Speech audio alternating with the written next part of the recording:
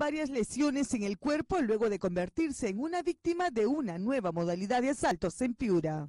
Este tipo de atracos, denominada la carnada colocha, estarían liderados por colombianos.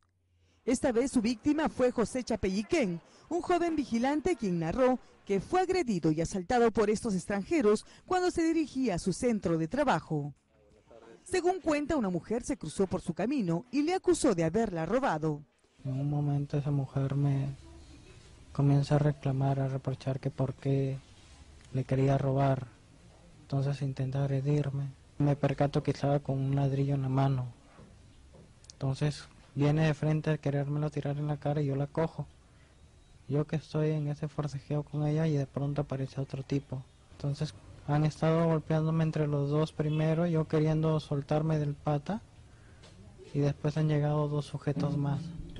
Aún muy confundido por la situación, trató de huir del lugar, pero fue entonces que la mujer cambió de versión y acusó a José Chapelliquén de realizarle tocamientos indebidos. Fue ahí donde aparecieron más colombianos. Uno me comenzó a quitar el pantalón, me quitó la correa y me quitó el pantalón. Y yo comencé a gritar cuando me empezaron a quitar el pantalón que me estaban robando. Pero estos comenzaron a gritar, no, es un violador. Entonces la gente, los que pasaban por ahí, no se metían. Alrededor de siete colombianos lo habrían atacado hasta dejarlo al borde de la inconsciencia. José Chapelliquén asegura que los sujetos se apoderaron de sus pertenencias, entre ellos más de 600 soles. Según las primeras investigaciones, esta no es la primera vez que situaciones como estas han sido denunciadas. La policía investiga a los implicados.